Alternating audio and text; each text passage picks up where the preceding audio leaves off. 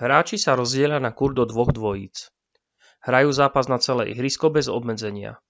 Kto prehrá, vystrieda sa so svojím spoluhráčom a víťaz výmeny si pripíše bod. Po troch víťazných výmenách za sebou strieda aj víťazný hráč.